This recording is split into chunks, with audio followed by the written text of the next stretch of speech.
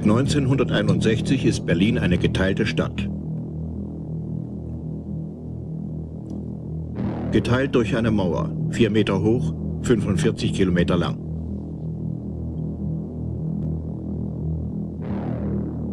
»45 Kilometer lang, betongewordene Geschichte. Symbol der Teilung Deutschlands und Europas.«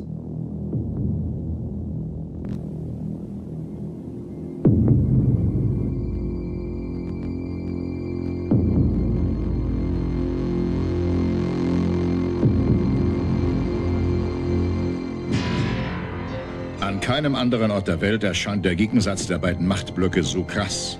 Nirgends prallen Schein und Wirklichkeit der Ideologien so erkennbar aufeinander wie an dieser Betonwand.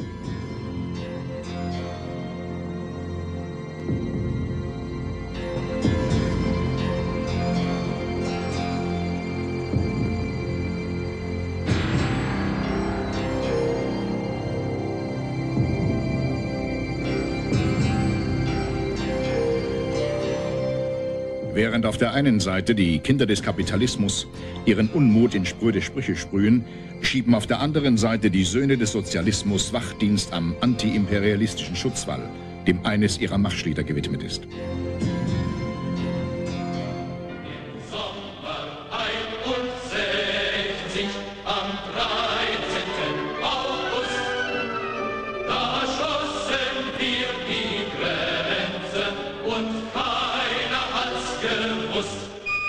让们走。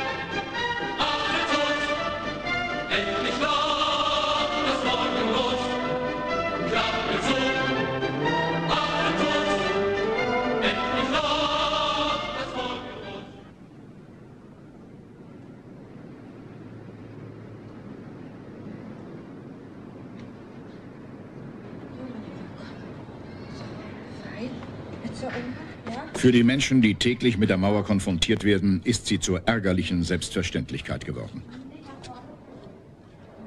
Und für die jungen Soldaten der Nationalen Volksarmee gehört die Streifenfahrt ebenso zur Dienstroutine wie für die GIs aus den USA, die Wehrpflichtigen aus Frankreich oder die königlichen Militärpolizisten aus England. Für ihre Väter sah das Brandenburger Tor noch anders aus. Berlin im Sommer 61.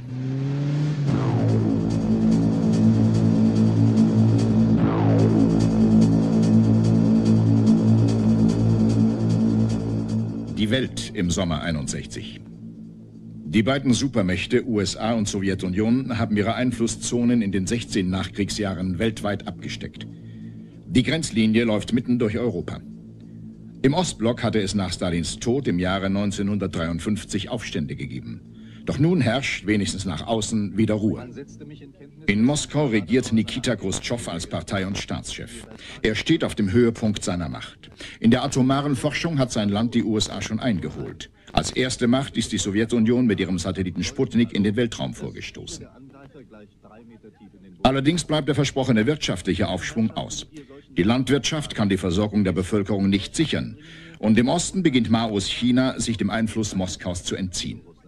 Für den 22. Parteitag im Oktober 61 braucht der Kreml-Chef auch deshalb dringend einen außenpolitischen Erfolg.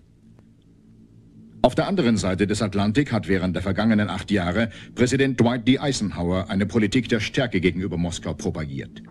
Seit Januar 61 ist jedoch der 43-jährige John F. Kennedy Präsident der USA. Für ihn steht fest, dass der massive atomare Gegenschlag, der unter Eisenhower noch Patentrezept der Abschreckungsdoktrin gewesen war, nicht dazu taugt, auch kleinere Konflikte beizulegen. Kennedy setzt auf flexible, also abgestufte Abschreckung.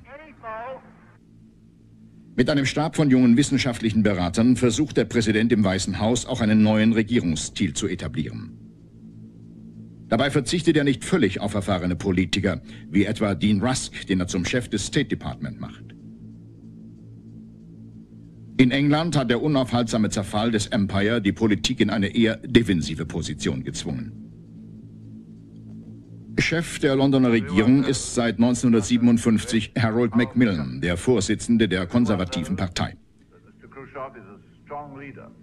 Zur Zeit Eisenhowers hatte er weltpolitisch noch einigen Spielraum, der jetzt unter dem Führungsanspruch Kennedys deutlich schrumpft. We are not worried about the technicalities of the situation, but we are worried about the fundamental rights of the Western Berliners. In Frankreich ist der legendäre Kriegsheld General de Gaulle seit 1958 Präsident. Der 70-Jährige will Frankreichs Unabhängigkeit auch militärisch sichern, mit einer eigenen Atomstreitmacht. Und er versucht, die Bundesrepublik von ihrer engen Bindung an Amerika zu lösen.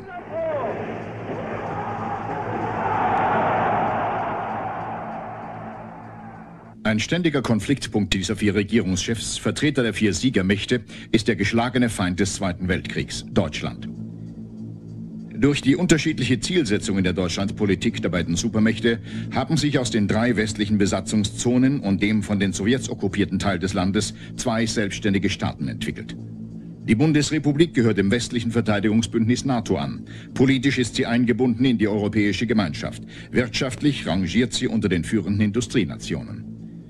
Die DDR ist Vollmitglied der Ostblockbündnisse, militärisch im Warschauer Pakt, wirtschaftlich im Comecon.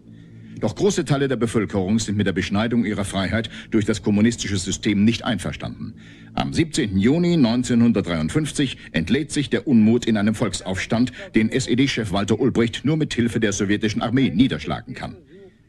Seitdem hat er seine Position als Vorsitzender des Staatsrats gefestigt, kann aber dennoch nicht verhindern, dass Jahr für Jahr Hunderttausende die DDR verlassen und in den Westen flüchten. In der Bundesrepublik ist seit zwölf Jahren der CDU-Vorsitzende Konrad Adenauer als Bundeskanzler für die Richtlinien der Politik verantwortlich. Er regiert im Augenblick mit einer absoluten Mehrheit seiner Partei, muss sich aber im September einer Bundestagswahl stellen. Im Kalten Krieg zwischen den Supermächten auf dem Boden Deutschlands ist Berlin der Dreh- und Angelpunkt. Seit 16 Jahren dient die Stadt als Exerzierplatz für begrenzte Feindseligkeiten. Die alte Reichshauptstadt ist in vier Sektoren unterteilt, beherrscht von den vier Siegermächten als den Inhabern der obersten Gewalt. Auch hier spiegeln sich die Einflusszonen beider Supermächte wider. Im westlichen Teil mit D-Mark West und Bindung an die Bundesrepublik, im östlichen Teil mit Ostmark und dem Anspruch, DDR-Hauptstadt zu sein. Doch der Verkehr zwischen den beiden Teilen läuft fast reibungslos.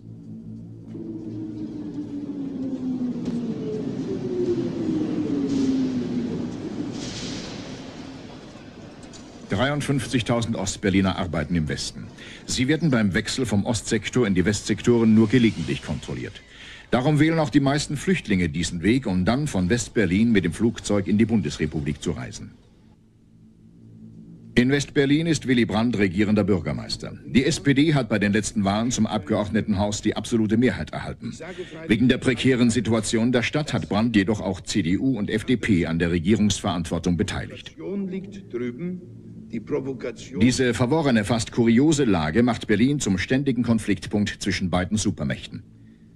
Die Berlin-Frage ist deshalb Hauptthema des ersten Gipfeltreffens zwischen Kennedy und Khrushchev im Juni 1961 in der österreichischen Hauptstadt Wien. Ein Schauplatz der historischen Begegnung ist die Botschaft der Sowjetunion hier in der Reisner Straße 47 im dritten Wiener Bezirk. In dieser Botschaft stehen sich also nun am 3. Juni 61 Kennedy und Khrushchev leibhaftig gegenüber.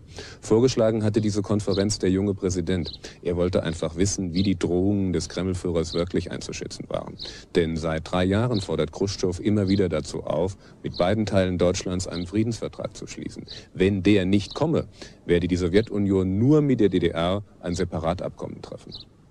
Dies aber hätte dann zur Folge, dass die DDR auf den Verbindungsstrecken von und nach Berlin nicht nur die Straßen, Schienen, Wasserwege kontrollieren könnte, sondern auch den Luftverkehr. Kein Flüchtling hätte dann noch eine Chance, von Westberlin nach Westdeutschland zu kommen. Obwohl er den Termin für den Vertragsabschluss mehrfach verschoben hat, beginnt Khrushchev in Wien erneut mit dieser Forderung und bekräftigt seinen Wunsch, dass Westberlin zur freien Stadt erklärt wird.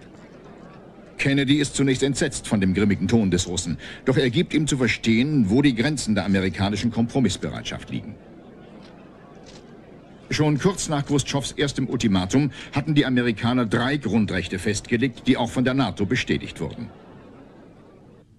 Diese sogenannten Three Essentials umfassten die Präsenz der Westmächte in Westberlin, die Freiheit des Zugangs, die Freiheit und Lebensfähigkeit der Bewohner Westberlins.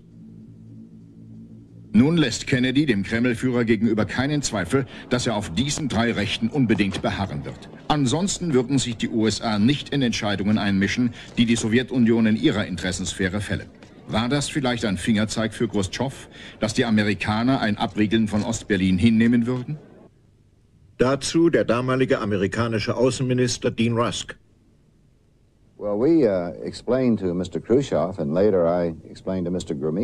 Nun ja, wir erklärten Herrn Khrushchev und später erklärte ich es Herrn Gromyko, dass die Sowjetunion den Ostdeutschen nicht etwas geben konnte, was sie, die Sowjetunion, gar nicht besaß, nämlich die Kontrolle über unsere Rechte in Berlin. Und so hatten Sir Alec Douglas Hume aus Großbritannien und ich noch einige vertiefende Gespräche mit Herrn Gromyko im Anschluss an den Wiener Gipfel. Da machten wir das ganz klar. Präsident de Gaulle wollte damals absolut nicht an solchen Verhandlungen teilnehmen. Er war nicht der Ansicht, dass wir diese Frage überhaupt mit den Russen diskutieren sollten. Aber wir und die Engländer dachten, es wäre besser, wegen dieser Dinge Gespräche als einen Krieg zu führen. Während dieser Phase waren unsere Freunde in Deutschland ein bisschen nervös wegen des unsicheren Ergebnisses dieser Gespräche. Aber Sir Alec Douglas Hume und ich wussten, dass der Westen seine Verantwortung für die Sicherheit und das Wohlergehen der Westberliner nicht aufgeben würde.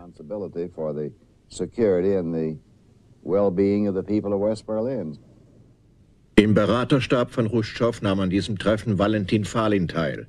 Er war Deutschland-Experte im sowjetischen Außenministerium. Ich kann als Augenzeuge sagen, dass Khrushchev ein großes Respekt vor Kennedy hatte. Er verstand ich mehr nach inoffiziellen Gesprächen in Wien, dass dieser junge, relativ junge Präsident ein sehr seriöser Politiker ist, dass mit ihm ernst sprechen soll, dass mit ihm sprechen kann aber gewiss brauchte man Zeit auf beiden Seiten, um aus dieser Erkenntnis, dass die Gespräche notwendig sind und möglich sind, eine neue Politik zu beginnen.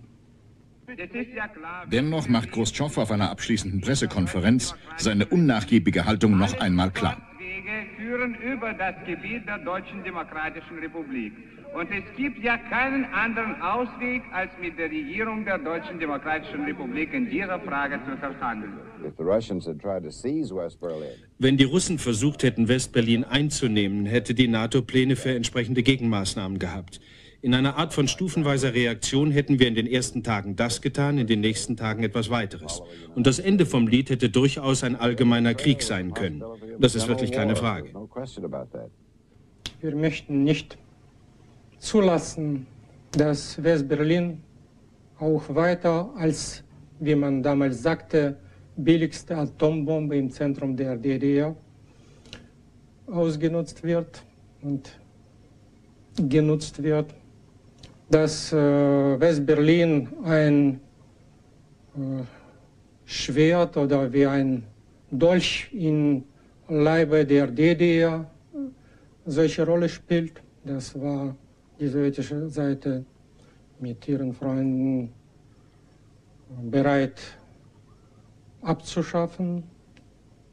Was äh, Kennedy gesagt hat, oder korrekter zum Verstehen gegeben hat, die Amerikaner werden in Westberlin festbleiben, in Westberlin festsitzen und ihre Interessen dort äh, verteidigen. Und das war, ich glaube, der sowjetischen Seite zu diesem Moment schon vollkommen klar. 14. Juni in Washington. Zehn Tage nach dem Schlagabtausch mit Khrushchev wird Kennedy im eigenen Lande attackiert. Der Führer der Senatsmehrheit hier auf dem Kapitol, Mike Mansfield, kritisiert den seiner Meinung nach zu harten Kurs des Präsidenten in Berlin. Der demokratische Senator aus Montana fordert eine Lösung, die verhindern soll, dass Berlin erneut zum Ausgangspunkt der dann wohl letzten Menschheitskatastrophe wird. Mansfield fordert, ganz Berlin zu einer freien Stadt zu machen.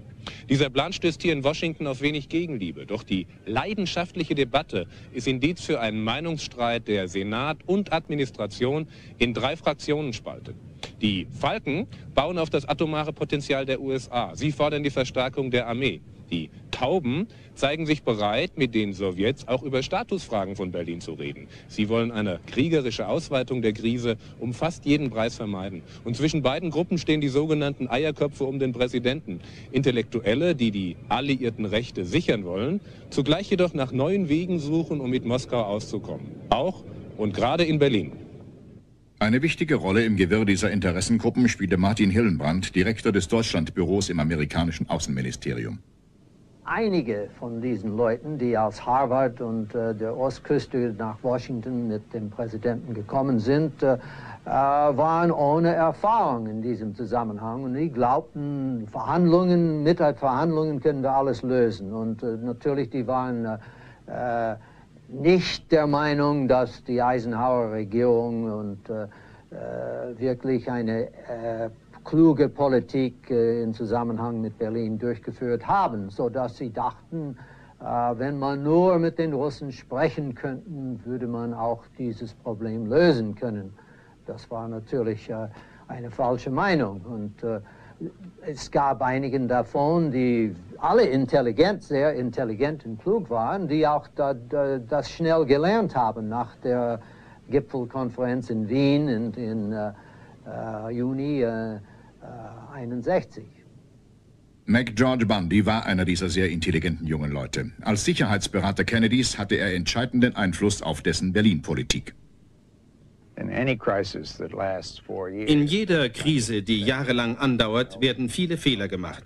Aber ich denke, hier ist kein entscheidender Fehler gemacht worden. Ich bin im Gegenteil der Ansicht, dass trotz unterschiedlicher Methoden sowohl die Eisenhower als auch die Kennedy-Administration erfolgreich an der grundsätzlichen und schützenswerten Position des Westens in West-Berlin festgehalten hat.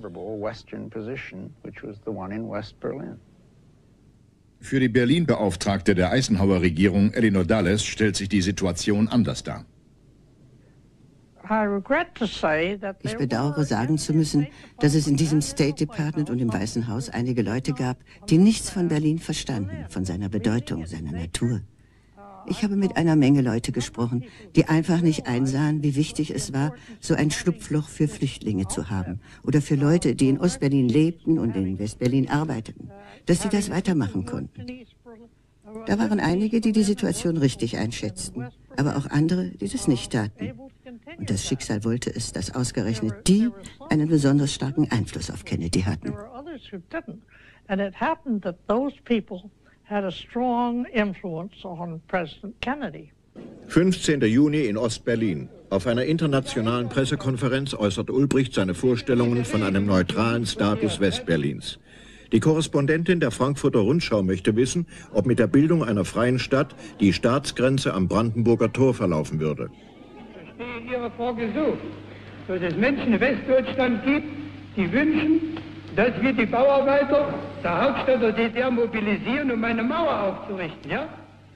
Äh, mir ist nicht bekannt, dass solche Absicht besteht, dass sich die Bauarbeiter in der Hauptstadt hauptsächlich mit Wohnungsbau beschäftigen und ihre Arbeitskraft dafür voll ausgenutzt wird, voll eingesetzt wird. Niemand hat die Absicht, eine Mauer zu errichten. Nun war zum ersten Mal das Wort Mauer gefallen. Versprecher oder bewusste Irreführung? Dazu der damals in Ostberlin tätige Professor für Staatsrecht Wolfgang Seifert. Diese Pressekonferenz war ja am 15. Juni 1961, also fast zwei Monate vor der eigentlichen Aktion. Und ich glaube, aus den ganzen Umständen, die ich von damals kenne, schließen zu können, dass diese Äußerung von Ulbricht durchaus korrekt, ehrlich gemeint war, dass dahinter also nicht die Absicht steckte, den Westen zu täuschen, denn zu diesem Zeitpunkt ging Ulbricht ganz offensichtlich noch von seiner Konzeption aus, dass es notwendig sei, den Luftverkehr ziviler Art zwischen dem Westen und West-Berlin über den Flughafen Schönefeld laufen zu lassen und auf diese Weise die Kontrolle des zivilen Verkehrs von und nach West-Berlin völlig durch die DDR sicherzustellen. Trotzdem war auch eine Abriegelung Westberlins langfristig vorbereitet worden, wie Fritz Schenk berichtet. Ich war als Sekretär des Chefs der staatlichen Plankommission der DDR zwischen 1952 und 1957 speziell mit den technischen Vorbereitungen für den Mauerbau befasst. Dazu gehörte die Trennung des Berliner Telefonnetzes, dazu gehörten Umbauten im innerstädtischen System von S-Bahn und U-Bahn, dazu gehörte die Schaffung eines Außenrings der Reichsbahn sowie Straßenbauten in die Zone hinein, dazu gehörte ein neues Verkehrskonzept äh, für die Randgebiete, dazu gehörte eine Reihe von Umsiedlungen von Bürgern aus den Westsektoren in den Ostsektor, vor allem aber der Bau eines Zauns um ganz Berlin herum, damit Bürger der DDR schwerer nach Ostberlin hineinkamen und die Schaffung einer neuen Bevorratung für Betriebe der DDR mit Westwaren für den Fall, dass der Ost-West-Handel unterbrochen werden würde. Alles zusammengenommen waren dies Maßnahmen, die ein Jahrzehnt dauerten und die auch ein totalitäres System braucht, um eine solche Maßnahme durchführen zu können. 3. Juli in New York. Das Nachrichtenmagazin Newsweek enthüllt die streng geheimen Militärpläne der Vereinigten Stabschefs der USA zur Verteidigung von West-Berlin. Da ist die Rede von Steigerung der Einberufungen, von Requirierung kommerzieller Flugzeuge und schließlich einer neuen Serie von Atomwaffenversuchen. Hier in Moskau ist die Reaktion verheerend. Für die Kreml-Führung sind die Militärpläne der Stabschefs Wasser auf die Mühlen ihrer Thesen von der Aggressivität der NATO-Generäle. Khrushchev macht in einer Fernsehrede deutlich, dass die Sowjetunion auf Pläne dieser Art wohl vorbereitet sei. Notfalls werde es sich auch vor dem Befehl zum Einsatz von Atomwaffen nicht scheuen. Dabei kann der sowjetische Parteichef eigentlich auf die konventionelle Kampfkraft seiner Streitkräfte voll bauen. Alleine in der DDR stehen 20 kampfbereite Divisionen der Sowjetarmee. Und im Falle eines Krieges kann der Kreml binnen dreier Tage 50 weitere Divisionen an die Fronten werfen. Dem stehen in der Bundesrepublik nur etwa 22 NATO-Divisionen gegenüber. Doch auch der Kreml hat damit zu rechnen, dass eine anfangs nur konventionell geführte Auseinandersetzung etwa um Berlin schon bald die atomare Schwelle überschreiten würde. Am Ende stünde dann der unvermeidliche Vernichtungskrieg der Supermächte. 6. Juli. Ulbricht legt vor der Volkskammer einen Friedensplan vor. Mir scheint, dass es an einem solchen Friedensvertrag mit den beiden deutschen Staaten das ganze deutsche Volk interessiert sein müsste, abgesehen vielleicht von einer kleinen Schar unverbesserlicher und unbelehrbarer Revanchekrieger und Spezialisten für verlorene Kriege, die in Westdeutschland entgegen den Geflogenheiten anderer Länder als Ratgeber besonders hoch geschätzt werden. An diesem Tag verlassen 869 Flüchtlinge die DDR.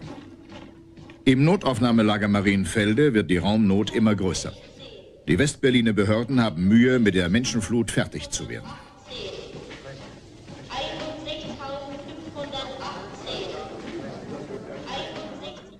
8. Juli. Ab sofort müssen sich alle Ostberliner, die in Westberlin arbeiten, registrieren lassen. Die sogenannten Grenzgänger sind starken Repressalien durch die Parteiorgane ausgesetzt. Diese Leute werden von vielen beneidet, weil sie ihr Geld in D-Mark West bekommen, die bis zu 5 Ostmark wert ist, und gleichzeitig von den billigen Wohnungsmieten und Wirtschaftstarifen in Ostberlin profitieren. Die DDR-Regierung nutzt diese Stimmung, um in der Bevölkerung Verständnis für eventuelle Sperrmaßnahmen zu wecken. 19. Juli in Washington.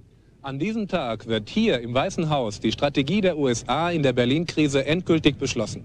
Der Präsident ist vom Ergebnis einer neuen Umfrage des Gallup-Instituts beeindruckt. Danach sind neun von zehn US-Bürgern bereit, im Notfall für die Präsenz der Westmächte in West-Berlin auch einen Krieg in Kauf zu nehmen. Was nun an diesem 19. Juli um 3 Uhr nachmittags hier im Weißen Haus beschlossen wird, ist ein historischer Kompromiss, der den wochenlangen Grabenkrieg zwischen den Falken und den Tauben in Washington beendet. Die Kampftruppen in Deutschland werden zwar verstärkt, Doch der nationale Notstand, den die Chefs der Teilstreitkräfte fordern, wird nicht ausgerufen. Kennedy erklärt, er werde für die Freiheit Westberlins im Notfall einen Krieg riskieren, nicht jedoch für Statusfragen Ostberlins. Er könne und er dürfe die Sowjetunion in ihrem Machtbereich nicht reizen. Uh, Nun, diese Strategie wurde vom Präsidenten akzeptiert und in seiner großen Rede im Juli auch angekündigt. Es ging in der Tat darum, unsere konventionellen Kräfte zu verstärken und unsere vitalen Interessen deutlich zu umreißen. Die Lebensfähigkeit von West-Berlin, die Präsenz der Amerikaner und der Alliierten dort und der freie Zugang.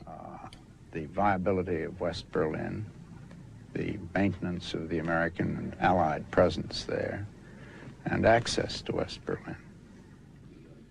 Am selben Tag in West-Berlin. Der Minister für gesamtdeutsche Fragen, Ernst Lemmer, nimmt Stellung zur immer bedrohlicher werdenden Flüchtlingsfrage. Ich kann nur feststellen, dass dieser verstärkte Nervenkrieg des Ostens gegen West-Berlin und uns dazu beigetragen hat, die Flüchtlingsbewegung ansteigen zu lassen. Wir haben bis Mitte Juli 15.000 Flüchtlinge registriert. Dazu Egon Bahr, damals Pressesprecher des Berliner Senats. Wir haben doch überlegt, sie wird nicht die DDR leerlaufen lassen und wir haben uns überlegt, was kann sie tun und wir haben in der Tat gedacht, sie würden zwei Arten von zusätzlichen Sperren oder Kontrollen, nicht Sperren, machen. Einmal zwischen Westberlin und Ostberlin und zum anderen zwischen der DDR und Ostberlin, um den Strom abzudrosseln. Die Beurteilung der Lage in Bonn schildert der damalige Parteivorsitzende der FDP, Erich Mende. Wir wussten ja, dass diese Flüchtlingsziffer von Woche zu Woche anstieg. Und Ernst Lemmer, der damalige gesamtdeutsche Minister, nannte das Ganze eine Abstimmung mit den Füßen. Und es war uns klar, dass sich das die DDR auf die Dauer nicht leisten konnte, dass alles ihr weglief, vor allem Facharbeiter, mittlere Jahrgänge, nicht die alten. Es waren ja die mittleren und jüngeren Jahrgänge, die weggingen, ganze Familien. An diesem Tag verlassen 1809 Flüchtlinge die DDR. 24. Juli. Der US-Gesandte in Berlin, Alan Leitner, kabelt nach Washington, dass die Zahl der DDR-Flüchtlinge bis zum Jahresende insgesamt auf vier Millionen ansteigen könnte. Wir wussten, dass den Leuten in Washington die Situation an sich klar war und wir wiesen darauf hin, dass irgendwas passieren würde. Und wir wollten herausfinden, was Washington für den Fall plante, was Washingtons Politik war. Wir saßen hier rum und warteten, dass irgendwas passierte und niemand schien eine Ahnung zu haben, was wir dagegen tun würden. In der DDR wird das Problem der Flüchtlinge natürlich anders dargestellt. Der Präsident der Volkspolizei, Werner Gröning, erinnert sich. Damals war unsere Grenze zu Berlin-West offen auf über 45 Kilometer.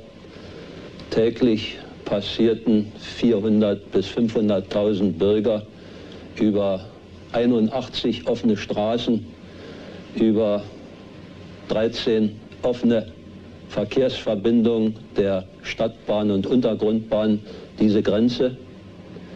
Es gab sehr wenige Kontrollen, aber Schieber und Spekulanten trieben ihr Unwesen. Die Deutsche Demokratische Republik wurde ausgeplündert, wir wurden ausgeraubt und die Springer Presse fand dafür einen bezeichnenden Begriff, man kann über Berlin-West die DDR ausbluten. 25. Juli in Washington. Um 10 Uhr abends hält Präsident Kennedy seine mit Spannung erwartete Berlin-Rede. Fernsehen und Radio übertragen sie direkt aus dem Weißen Haus. Und auch das weltweite Rundfunknetz der amerikanischen Streitkräfte ist angeschlossen. It is as secure in that sense as the rest of us. In dem Sinn ist Berlin so sicher wie der Rest von uns. Wir können seine Sicherheit nicht von unserer eigenen trennen.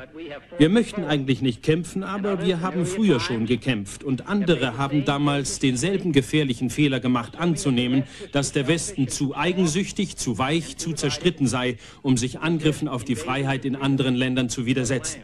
Leute, die damit drohen, dass die Diskussion um Westberlin zu kriegerischen Auseinandersetzungen führen könnte, sollten sich an die Worte des alten Philosophen erinnern.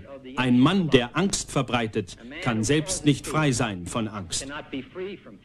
Wie gut die Sowjetregierung dieses Signal verstanden hat, zeigt sich in der Reaktion Khrushchevs. In einer Fernsehrede kündigt er an, dass es Krieg geben werde, falls die Amerikaner sich den Weg nach Berlin mit Gewalt erkämpften. Und wenn dabei Atomwaffen eingesetzt würden, wären alle europäischen Verbündeten der USA innerhalb kurzer Zeit vernichtet. Dazu der damalige Verteidigungsminister der Bundesrepublik Franz Josef Strauß. Auf der militärischen Ebene gab es eine sogenannte Contingency Planning, eine Ernstfallplanung, wenn bestimmte Ereignisse eintreten würden, die dann doch nicht eingetreten äh, sind. Ich befand mich damals unter einem unerhörten psychischen, moralischen und politischen Druck. Meine Nerven waren bis aufs Äußerste angespannt, denn die Verantwortung, die möglicherweise auf uns zugekommen wäre, hatte eine Größenordnung, die auch einen mit starken Nerven ausgerüsteten äh, Politiker in Schwierigkeiten bringen können. An diesem Tag verlassen 1521 Flüchtlinge die DDR. 30. Juli in Washington. Der Vorsitzende des Außenpolitischen Senatsausschusses, Senator William Fulbright, sagt in einem Fernsehinterview, ich verstehe nicht, weshalb die DDR-Behörden ihre Grenzen nicht schließen, denn ich meine, sie haben alles Recht, sie zu schließen.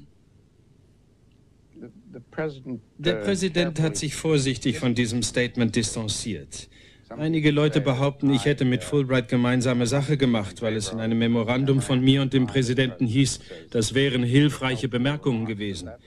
Aber das war ironisch gemeint. Das waren keine hilfreichen Bemerkungen.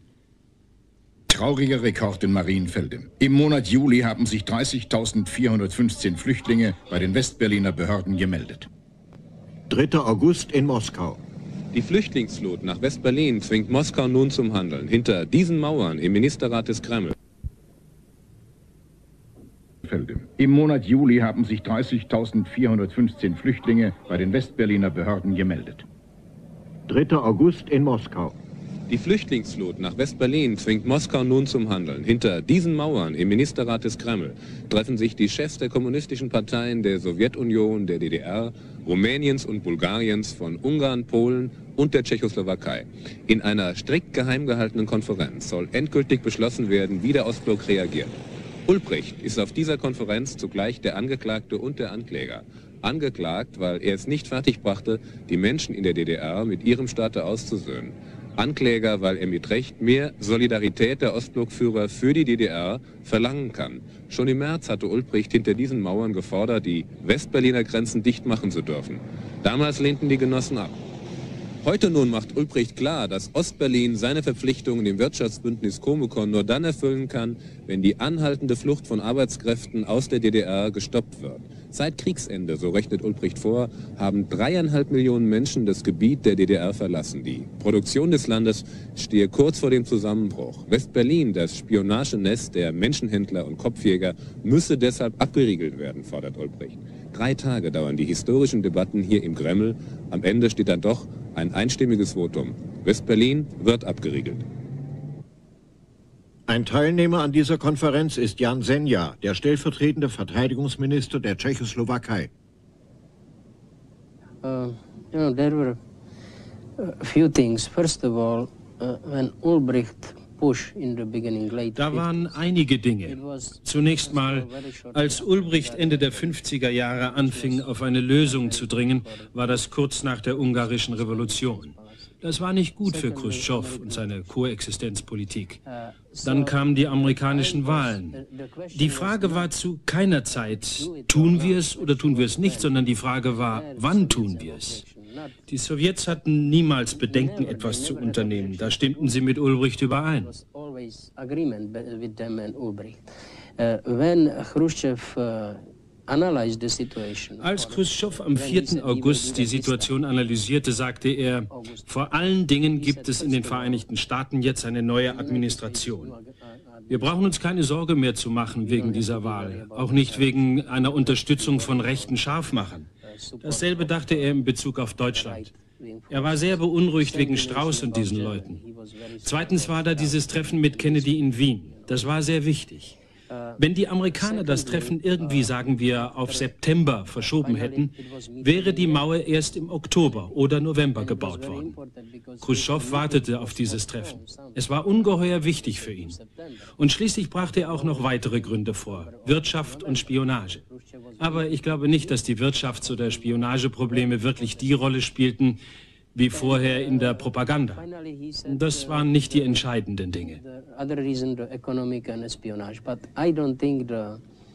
economic and espionage problem which they mentioned before in the propaganda and after, it was not the major things. Ich würde so sagen, diese Konferenz war wichtig, um unseren deutschen Freunden klarzumachen, wir werden alle auf ihrer Seite sein, wenn sie mit ihren Maßnahmen, die sie selbst für einzig möglich und für einzig richtig in damaligen historischen Umständen betrachten.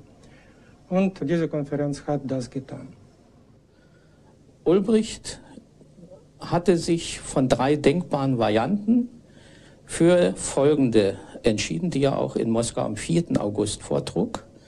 Er wollte die Lösung des, der Kontrolle des Luftverkehrs durch die DDR erzwingen, indem er die Sowjetunion dazu zu veranlassen suchte, dass sie erklärte, die Verbindung der westlichen Alliierten zu militärischen Zwecken, zur Versorgung ihrer Truppen in Westberlin und so weiter, das könnte selbstverständlich wie bisher in eigener Regie auch durch die Westmächte erfolgen. Aber der gesamte zivile Luftverkehr habe über den Flughafen Schönefeld zu erfolgen. Wenn das von Ulbricht durchgesetzt worden wäre, hätte er auf den Bau der Mauer verzichten können, denn er hätte den gleichen Effekt eleganter und genauso sicher über den Flughafen Schönefeld erreicht, weil ja alle Zivilpersonen, die von Westberlin weg nach dem Westen wollten per Luft, und alle in umgekehrter Richtung völlig unter Kontrolle gehabt hätte. Arkadi Schewtschenko, später UNO-Botschafter der Sowjetunion, war damals im sowjetischen Außenministerium auch mit der Berlin-Frage befasst. Uh, the, uh, I would say that the uh, Ulbricht, of course, uh, insisted on that because, because Ich würde sagen, dass Ulbricht so insistierte, weil er mit den Problemen in dieser Situation einfach nicht fertig wurde. Und die Sowjetführung ging nicht davon aus, dass nur der Bau einer Mauer eine Situation schaffen könnte, die zu einer wirklichen militärischen Konfrontation mit den Vereinigten Staaten führen würde. Das war die Annahme der Sowjetführung, dass es zwar zu Reibereien kommen würde, aber wenn die Sowjets nicht weitergingen als zum Bau einer Mauer, nicht wirklich zu einer größeren Konfrontation. That the construction of the wall itself might have frictions, but not really a major confrontation. An diesem Tag verlassen 2327 Flüchtlinge die DDR. 6. August in Paris. Die Außenminister der Westalliierten beraten mit ihrem deutschen Kollegen Heinrich von Brentano über die gespannte Lage in Berlin. As a matter of fact, President Kennedy became very impatient das steht fest. Präsident Kennedy wurde sehr ungeduldig wegen der Zeit, die die vier Regierungen für eine Übereinkunft einen einfachen Text als Antwort auf das russische Deutschland-Ultimatum brauchten. Aber wir machten bei diesem Treffen unsere Haltung klar, dass die Position des Westens und die Sicherheit der Bevölkerung in West-Berlin ein kritischer Punkt sein würden für die Sicherheit in ganz Europa. Das war lebenswichtig für die gemeinsame Verantwortung der NATO. 7. August in Moskau. Anlässlich der 17-fachen Erdumkreisung des Kosmonauten Titov hält Khrushchev eine programmatische Fernsehrede, in der er West-Berlin erneut als Sprungbrett für subversive Aktivitäten gegen die DDR brandmarkt.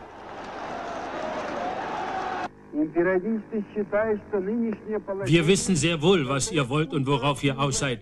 Wir werden einen Friedensvertrag schließen und euer Schlupfloch in die Deutsche Demokratische Republik verstopfen.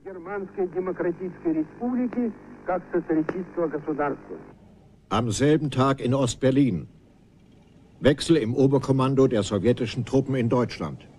Marschall Jakubowski wird abgelöst durch Marschall Iwan Stefanowitsch Konjew.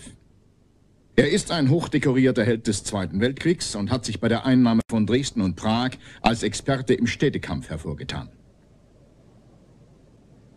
Marschall Konew, der bekannte Name für alle aus dem Zweiten Weltkrieg, war zu Oberbefehlshaber unserer Truppen ernannt und bekam Befehl, wenn nötig, die Gewalt der Gewalt entgegenzustellen.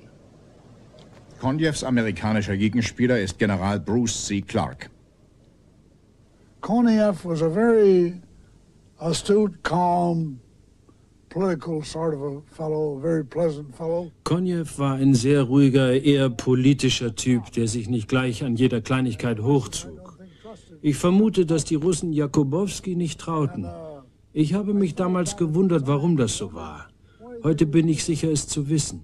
Ich bin der Ansicht, die Russen wollten nicht, dass von der Berliner Mauer der Dritte Weltkrieg ausgeht. So weit wollten sie nicht gehen. Auf Konjew konnten sie sich da verlassen, auf Jakubowski wohl nicht. They, they didn't want it to go that far.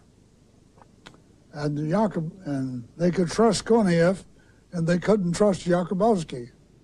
Ich hatte das Gefühl, es gibt ja auch ein literarisches Zeugnis äh, darüber, äh, dass die Amerikaner den Russen zu verstehen gegeben haben, wenn ihr diese Grenze nicht überschreitet, braucht ihr mit konkreten Gegenmaßnahmen, sei es militärischer Art, sei es weltweiter verkehrspolitischer, handelspolitischer Art, nicht zu rechnen. Da war der Geist von Jalta. An diesem Tag verlassen 1888 Flüchtlinge die DDR. 10. August in Ostberlin. Walter Ulbricht besucht das Kabelwerk Oberspree.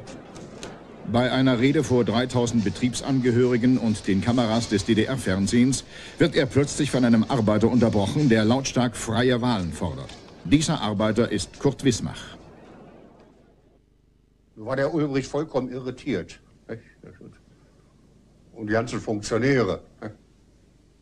Und hat mir erlaubt zu sagen, und wenn ich der Einzige bin, der das hier sich traut zu sagen, freie Wahlen,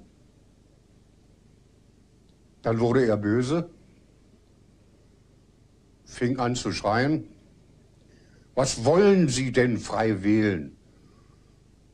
Die, die, die, die Frage stellt die Arbeiterklasse und das Volk. Und dann habe ich gesagt, weißt du überhaupt, wie das Volk denkt?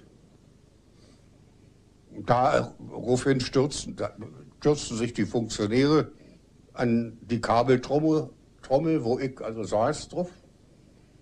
Aber da der Ulbricht denn weitersprach, sind sie dann wieder verschwunden. Am Nachmittag informiert ihn dann ein Kollege, der Mitglied der SED ist, dass er ab sofort vom Staatssicherheitsdienst überwacht wird. Am nächsten Tag verlangen Vertreter des Zentralkomitees von ihm einen öffentlichen Widerruf und drohen weitere Sanktionen an. Zum ersten Mal kommt ihm der Gedanke zu fliehen. Wenn ich nur wüsste, wie wir hier rauskommen sollen, solange die Typen da ständig vor der Tür stehen. Aber das ist doch klar, dass sie dich jetzt erstmal nicht mehr aus den Augen lassen.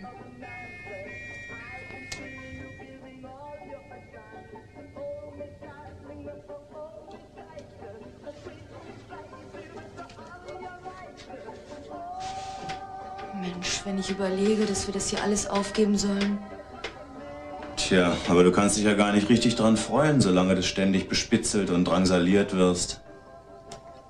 Das war wie so ein billigen Kriminalroman. Na gut, ich bin also zur Arbeit gefahren. Am Freitag und am Samstag, da war ja die Arbeitszeit alles noch anders. Nicht? Da gab es ja noch die 48-Stunden-Woche. Und die, äh, der Staatssicherheitsdienst hat mich immer bewacht. Nicht? Außerdem hatten sie in der Sitzung auch gesagt, ich soll mir nicht einbilden, auf die U- oder S-Bahn zu setzen. Die Kollegen, die Genossen der Staatssicherheit würden sowieso ein Auge auf mich haben. Am Abend des 10. August sind die drei westlichen Stadtkommandanten bei ihrem sowjetischen Kollegen Solojew eingeladen, um den neuen Oberbefehlshaber kennenzulernen. Als sie nach dem Grund für die vielen Militärtransporte fragen, die ihnen unterwegs begegneten, schaltet sich Konjew ein. Meine Herren, ich möchte Sie beruhigen. Was immer auch passieren mag, Ihre Rechte in West-Berlin werden davon nicht berührt. An diesem Tag verlassen 2576 Flüchtlinge die DDR. 11. August in Ostberlin. Die Volkskammer tagt. Der stellvertretende Ministerpräsident Willi Stoff attackiert erneut die Zustände in Westberlin. Von den Kreisen, die Berlin gespalten haben, weil sie die demokratische Entwicklung in ganz Berlin fürchteten, wird Westberlin, das bekanntlich auf dem Territorium der Deutschen Demokratischen Republik liegt, als der hauptsächlichste Stützpunkt zur Organisierung des Menschenhandels benutzt. An diesem Tag erreichen nochmal fast 2000 Flüchtlinge den Boden Westberlins. Fast alle landen hier, auf diesem S-Bahnhof Marienfelde vor dem Notaufnahmelager. Sie sind die letzten jener dreieinhalb Millionen, die Ulbrichts Machtbereich seit Kriegsende verlassen haben. Die Flüsterpropaganda in der DDR hat in den letzten Tagen noch einmal dafür gesorgt, dass manche, die noch zögerten, doch noch flüchten. Sie alle ahnen, was die westlichen Geheimdienste erst seit drei Tagen wirklich wissen. Erst seit dem 9.8. nämlich kündigt Reinhard Gehlen, Chef des BND, dem Kanzleramt in Bonn definitiv die Schließung der Sektorengrenzen an. Doch den genauen Stichtag kennen weder BND noch CIA. Für dieses Wochenende, also für den 12. und den 13. August, sagt der Geheimdienst sogar wörtlich Ruhe in Berlin voraus. Der 12. August ist ein Sommertag wie aus dem Bilderbuch. Am Wannsee nutzen Tausende die Chance, endlich einmal baden zu können, nachdem die zurückliegenden Wochen völlig verregnet waren. In der Eckkneipe zur Henne am Leuschnerdamm herrscht noch Ruhe. Bei Kempinski präsentieren Modeschöpfer den neuen Poncho-Stil.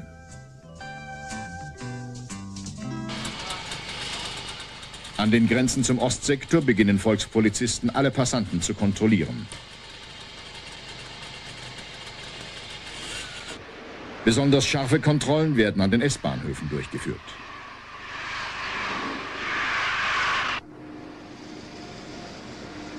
Am Brandenburger Tor und am sowjetischen Ehrenmal schießen Touristen die obligaten Erinnerungsfotos mit Soldaten der Roten Armee.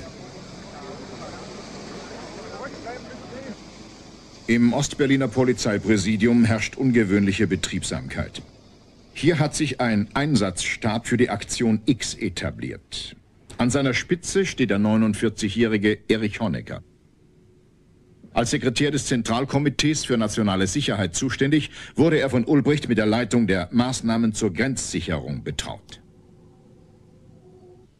Am Nachmittag fährt er zum Döllensee, dem Amtssitz Ulbrichts. Der unterzeichnet um 16 Uhr die Befehle für die Sicherungsmaßnahmen an der Staatsgrenze der Deutschen Demokratischen Republik zu West-Berlin. Die Gaststätte zur Henne füllt sich langsam mit Gästen. Kennen Sie den obersten Gerichtshof? Am Kurfürstendamm spielt Hildegard Knef in dem Boulevardstück Die ist nicht von gestern. Wir sind uns also einig. Wie meinen Sie das? Über meinen Vorschlag. Von mir aus, ich habe sowieso nichts zu tun. Abgemacht. Im Lagezentrum des Westberliner Polizeipräsidiums übernimmt um 22 Uhr Oberkommissar Hermann Beck das Kommando.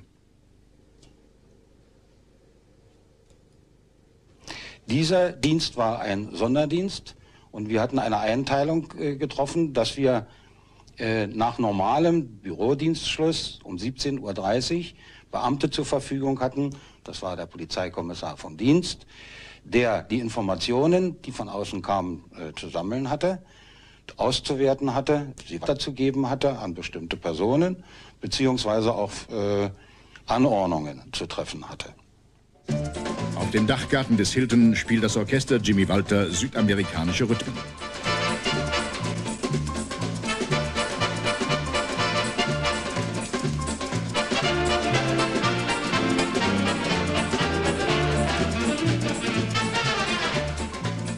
Während auf dem Kudamm das Nachtleben pulsiert, schallen um 22.30 Uhr Alarmsignale durch die Kasernen der Nationalen Volksarmee und der Grenzpolizei.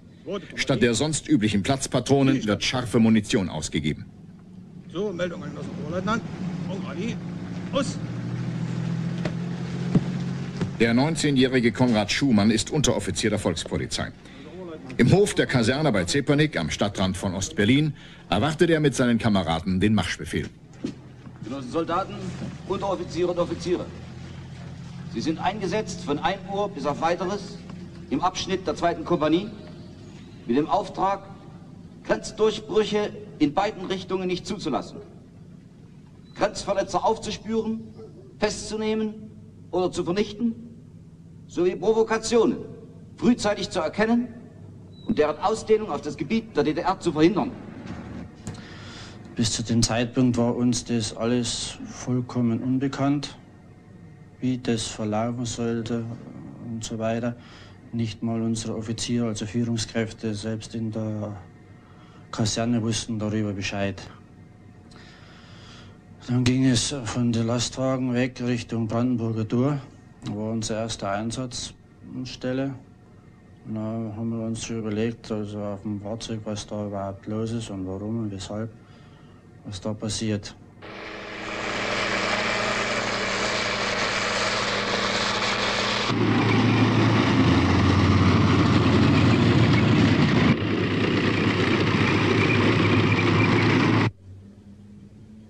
Wie viel Uhr war das?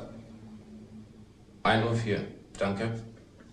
13. August, 1 Uhr 8.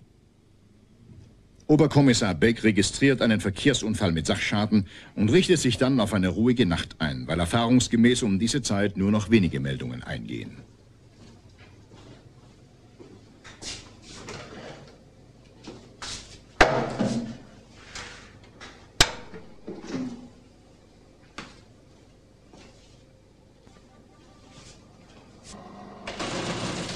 Um 1.10 Uhr wird im Fernschreibraum des Allgemeinen Deutschen Nachrichtendienstes der DDR eine Sondermeldung abgesetzt.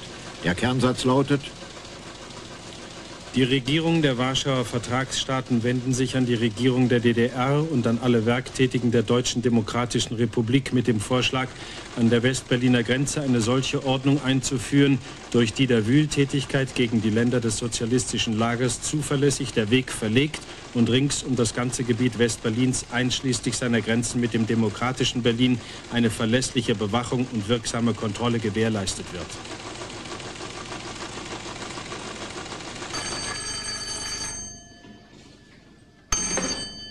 Kommissar von Dienst Beck. Ja, Moment.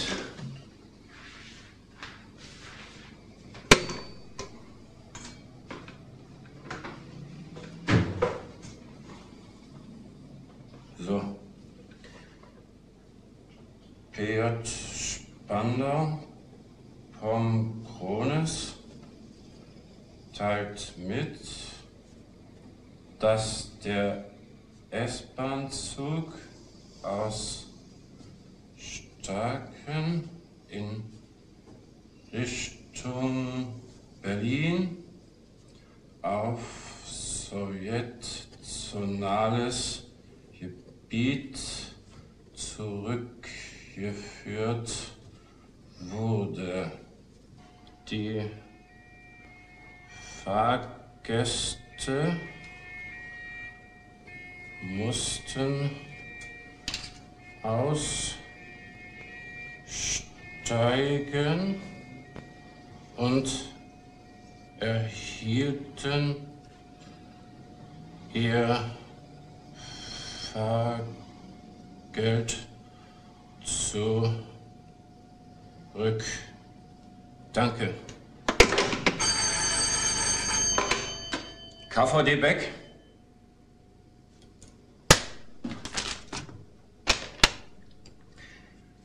PG Nord. Einstellung des S-Bahn-Verkehrs am Gesundbrunnen.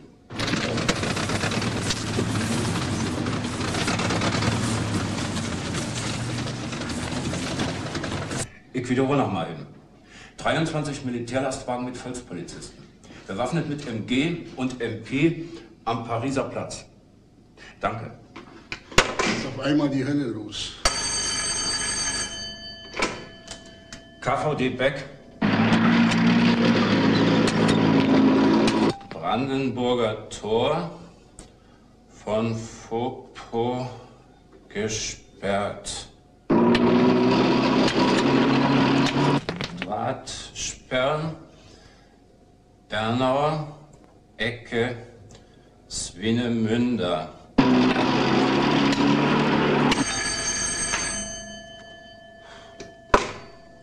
KVD Beck?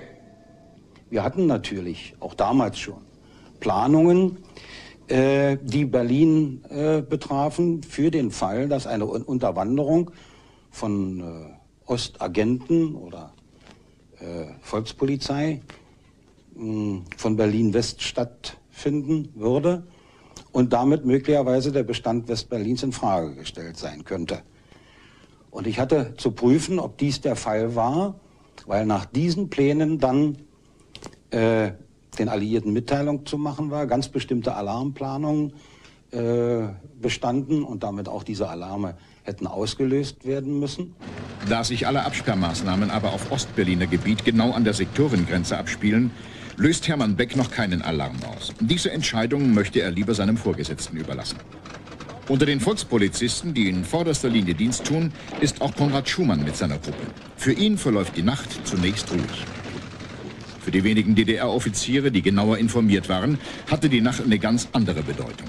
Was unter größter Geheimhaltung generalstabsmäßig vorbereitet war, lief nun quer durch die Stadt nahezu reibungslos ab. Ich war verantwortlicher Offizier an dieser Grenze. Was sein wird, habe ich am 12. abends gegen 21 Uhr erfahren. Ich war einer von den ganz wenigen, die nachdem sie wussten, was sein wird, an die Grenze raus sind und mit den Soldaten diskutiert haben. Das ist das, was mich eigentlich immer wieder beeindruckt hat. Es war ja zu der Zeit eine Stimmung, dass immer wieder die Frage gestellt wurde, wann wird endlich zugemacht. Sollen wir denn nicht doch den großen Alarm auslösen? Nein, wir machen nur B1. Das ist ja schon eine ganze Menge. Also, Wojniak, dann folgende Meldung. Wunschspruch an alle. Erstens, ab sofort Alarmstufe B1. Durch diese Entscheidung blieb es den Alliierten erspart, noch in dieser Nacht an den Sektorengrenzen einzugreifen.